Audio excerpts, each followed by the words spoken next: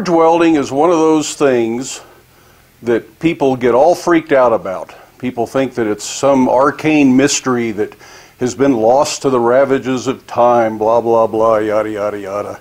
That's nonsense. Forge welding is a fundamental skill of the blacksmith. It always has been, and it always should be. Even if you're proficient with an arc welder, a MIG welder, or a TIG welder, you should know how to forge weld. It opens up lots of doors, like welding on the reins on a pair of tongs instead of having to draw all this out to make the reins. If you have a power hammer, that's not a big deal. But if you're at a small shop and you don't have a power hammer, forge welding just saved me an hour. On its most basic level, forge welding is really just heating up two pieces of iron-based material, wrought iron, pure iron, mild steel, tool steel. Doesn't matter a lot, although we'll talk about where it does matter some. But you heat these up until they're near the melting point. If you heat them up to melting, you're done and you've ruined everything. But once they're sort of close to that melting point, the surfaces are just starting to think about being molten, they can be fused together under the hammer. Forge welding should be every bit as strong as the parent material is. You'll notice that I was welding at a gas forge. A lot of people think you can't weld in a gas forge and it does depend on the gas forge. A lot of very simple homemade forges simply don't perform well enough to get up to welding heat. They can if you do a good job of building it, but the better the forge, the more likely. This is a Chili forge. It gets up to welding heat. I'm at 6,500 feet, and I can manage to weld in this. I weld axes and adzes and froes and all sorts of things in this, and it's absolutely possible. The other option is to weld in a coal, coke, or charcoal forge. For a lot of forge welds, the key to success is in the way you prepare the material for welding. And that gets into a whole lot of different issues that I'm going to try not to get into today. We're going to stay very basic today. The term scarf refers to the way the welds are prepared a thin area that blends in nicely. And different welds need different kinds of scarf preparation. Today what we're going to do is something that is referred to as a faggot weld. And no, that is not an insult to anybody's sexuality, and you can keep comments about that kind of thing to yourself. It's a blacksmithing term, and it simply means stacking the material up on top of each other. And it's not trying to blend a weld, it's actually creating a thick spot or a mass if you've ever made or wanted to make Damascus or pattern welded steel, that's essentially a faggot weld. Stack everything up, weld it together, draw it out. There's no scarfing necessary. So I'm going to turn the forge back on. That's one disadvantage to welding in the gas forge is it takes a while to heat up. I don't want to lose all the heat that I had. So we're going to listen to this thing roar in the background. I hope you can still hear me talk.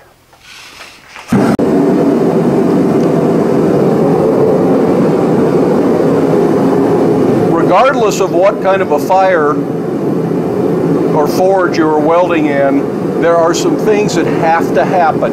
You have to have the heat. If you can't get it hot enough, you're never going to be able to weld. Hopefully it's a little quieter if we come over to this side of the shop. Not only do you need the, the high heat to weld, and different materials weld at different heats. Wrought iron welds much hotter than mild steel, which welds hotter than tool steel. Depending on what you're welding, your welding temperature will be different.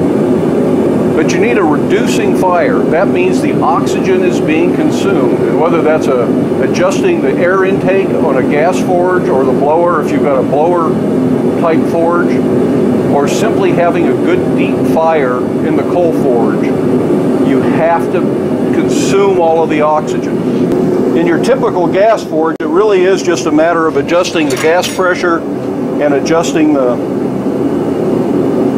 the air intake, however that comes into your forge. But with a coal fire, in the typical forge is one that the air comes in this way. The bottom blast forge is what I have. It can come in from the side and the rules are still more or less the same. If you have a nice deep fire pot, it's easier to have a reducing fire. What you want is coal built up around the edge, and this area right here is where you want your material. If you're down in here, and this is where your fire is, if you're in this area, that is an oxidizing fire. There's too much oxygen. You're going to burn your material before you weld.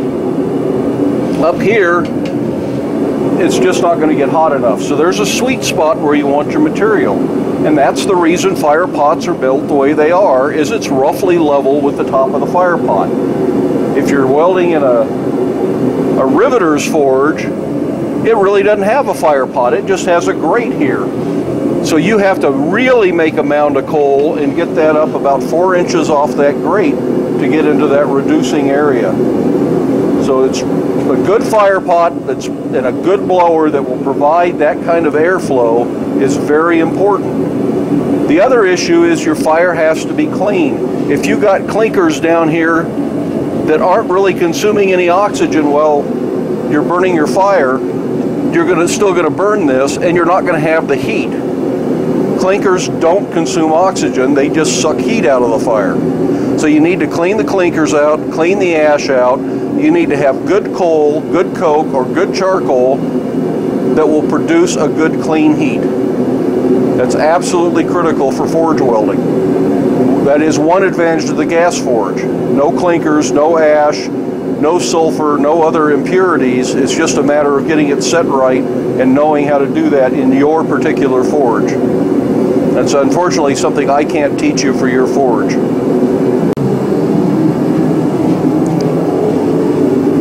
Enemy to forge welding is scale. If there is scale in the joint, you will not be able to get a good forge weld. And that's one of the things that you use flux for. It melts, it's kind of glassy, and it bonds with the scale and will help clear the scale out when you weld. It will also seal the weld up so less oxygen gets to the weld surface and help prevent scale from forming. So flux is really handy, not absolutely necessary. A lot of people weld without flux and it's completely possible to do that. Flux isn't magic, it just helps. This is sodium borate. It's anhydrous borax. It's a pretty good flux, but 20 Mule Team Laundry Borax works as well. It's really foamy, but it runs down in the joint weld. There's things like EZ Weld and this Iron Mountain forge welding flux that you can buy from your blacksmithing suppliers. They all work. I don't think there's any such thing as a magic flux that's way better than the rest of them. Uh, some of them have the some iron filings which can help and some of them have no borax. Borax can be a problem after the weld in that it can leave a film that you have to clean off. But the other stuff isn't too bad. But try different fluxes, see what you like. I use a different flux for different purposes. The borax is real slippery, it gets down in the weld, but it also makes it hard for some things to stick if you're bringing two pieces together like I did in the beginning of the video, and I prefer these for that kind of a weld.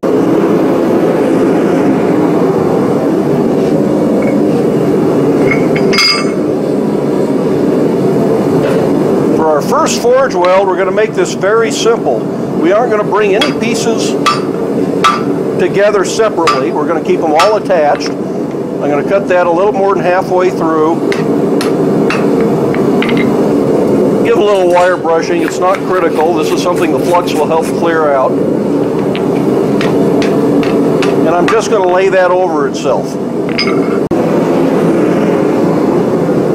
I keep borax in a little tin It's got a lid on it to keep the, the dirt and junk out. This will get down in there. You don't need just tons of flux. Most people put way too much on. If you leave this a little open, you can get the flux down in there a little bit better.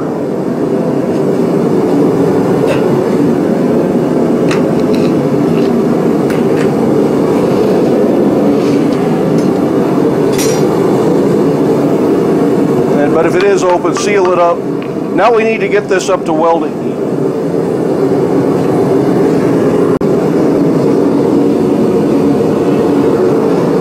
Welding heat is another one of those somewhat subjective things. You frequently will hear lemon yellow is the color you want for welding heat. And that's not a bad thing to aim for but you're going to see color in your shop just slightly different than I see at my shop. It also depends on the time of day and whether you've got light coming in windows or if you're working outside, you're going to see things completely different depending on what the sun's doing. So you need some other telltale signs. One of them is if you watch the surface of the metal, you'll see the flux flow because it melts like molten glass. But if you see the surface of the metal where there isn't flux starting to flow a little bit, that's a good sign that you're getting close to welding heat. If you see sparks coming out of the fire, you are too hot or you have way too much air. If you've got a hand crank blower and you're cranking just as hard as you can, chances are you're going to burn your material up without ever getting to welding heat. Think about how a cutting torch works. You get it hot, but not welding hot, and then you give it oxygen, and that oxygen cuts through it. That's burning the metal away. And that can happen in your forge, even though you're not at welding heat, you can burn stuff up. So sparks are not a good thing. If you're getting sparks, you're probably too hot. A few are okay, but it's better to come up to welding heat slowly. Now, unfortunately, this camera adapts for the light in the forge, so you're seeing a much darker image than I am. What you can see here is that the material is the same color as the inside of the forge. And for a gas forge, once you figure out how to set it to weld, that's a pretty good indicator. That even works fairly well in a coal fire when the material disappears against the background of the coal and no longer looks like it's colder than your coal fire. You're probably at heat. It pays to turn it around and move it, but if the joint's critical what's up and down, mark it before you go into the fire.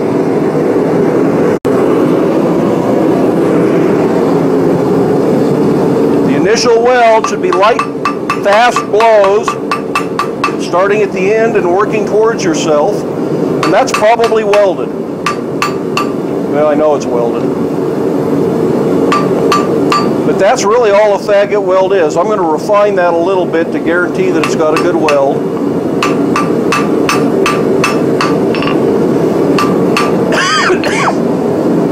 and that could be several layers of material built up. Now it's okay at this point if you want to to wire brush the flux, particularly if you're not 100% sure the weld took. And getting a little flux to make sure you clear out all the scale isn't a bad thing.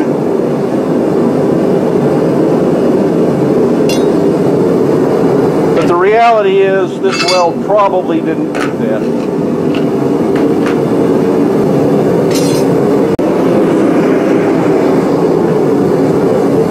Now we can go to what, some heavier blows that isn't as critical. Start with heavy blows, you'll probably ruin your weld.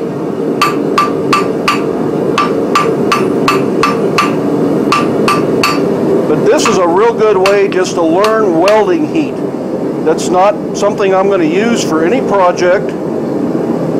It's just a, a practice weld. That's all this is and you should do some of these just to learn how to weld. So this weld is good, we can lock it in the vise and bend it, and it'll stay attached. Pretty good. It's starting to separate a little bit right at the very end, but it's staying good down in here, which is where it would rather bend if it was going to separate. So that little bit's bad. And that's one of the advantages of a scarf weld is that you would blend that end in with a scarf and it would stay better. So the faggot weld isn't something that you're really going to do a lot of, but there are some practical uses for it. And I'll show you a real quick thing you can do with it here. We're going to take just a piece of 3 8 bar and put a point on it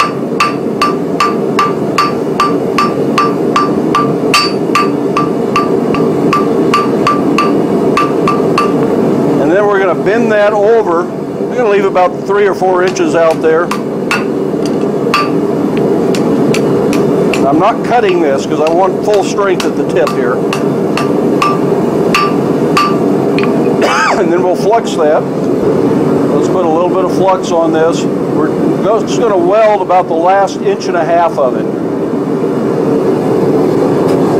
Put that in the fire, let it get hot. I'm going to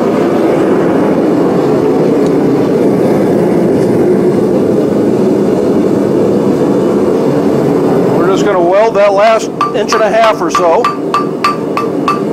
And I'm going to draw that out to a point.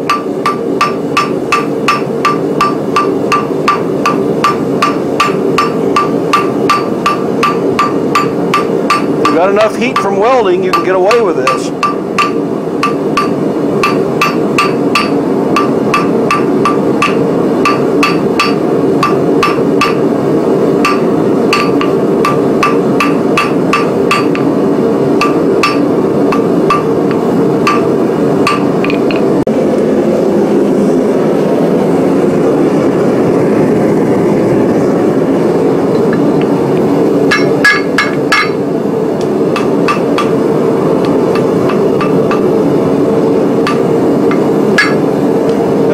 Another disadvantage to welding in the gas forge is I have to get all of this hot to get into where the, the good heat is. And in a coal forge, you can just heat the end of it. So for something like this, I would certainly prefer to weld in a coal forge. But if you haven't figured it out, what we've made is a real quick, simple fire poker.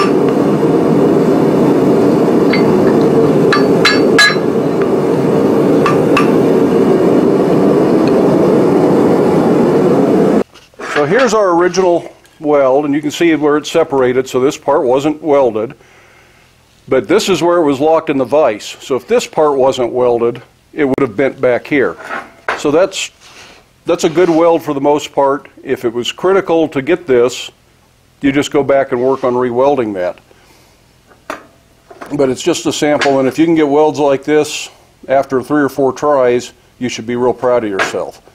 But doing this is a very good training exercise. Just a good way to practice a weld. And it's all about getting the right heat and the right fire and the metal being clean enough when you come out to weld. Here's our poker now, and that uses that same weld, only it doesn't need to weld all the way back.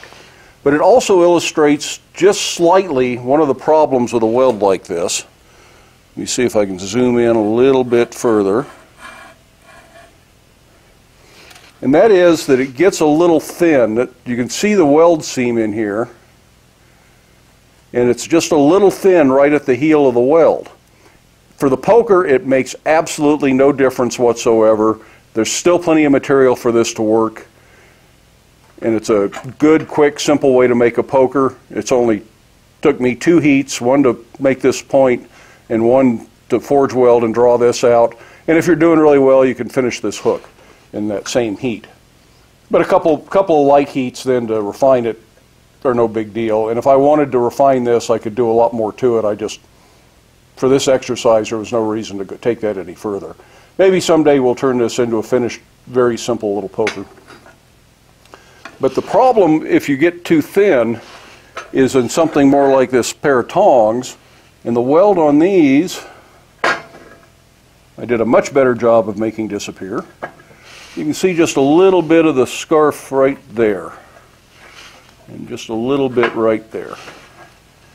And that's pretty common in old stuff to be able to see those signs of the weld. If you get too thin doing this, if you have not properly prepared the weld joint, then that's a weak place in your tongs. You actually want that to be a fairly heavy place in your tongs and not a thin spot. So the next time we talk about welding, we'll talk about preparing the joints so that when you are through forging them, that they are the right dimension and not too thin. It's real easy in a weld to get things too thin. Even this, you can see this is a lot thinner than the original bar. If we needed, this is 5 8 bar, if we needed an inch and a quarter total width, I would have had to have done something to guarantee that I didn't lose too much material making the weld. So that's an important concept, but we'll talk more about that later. Another practical place you can use this style of welding is something like this lock. This is an antique. I don't make locks. I wish I knew how. But you can see this buildup right here. This is really quite small the, for the internal mechanism, but the bolt that slides into the door needs to be heavy and secure. So the smith that made this did just what we did. It's a faggot weld. It was doubled back, welded down on here, and done.